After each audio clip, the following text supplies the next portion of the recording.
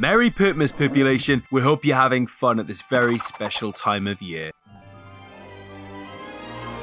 And now it's time to find out what's hiding behind door number 2.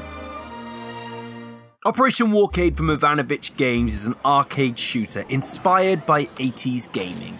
You dive right into the arcade machine and blast your way through helicopters and tanks as if your life depends on it. Because it kinda sorta does.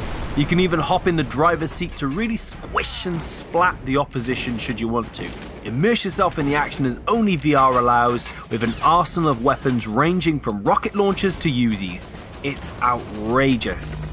And keep one eye on your surroundings because there's more than one way to survive the trenches. But the best bit of all, you don't need to rummage through your pockets for loose change. You can retry as many times as you like, whenever you like.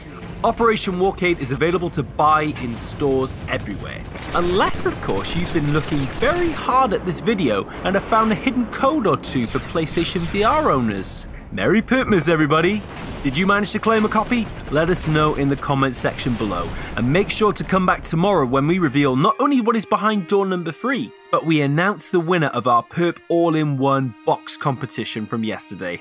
it's exciting times. See you then.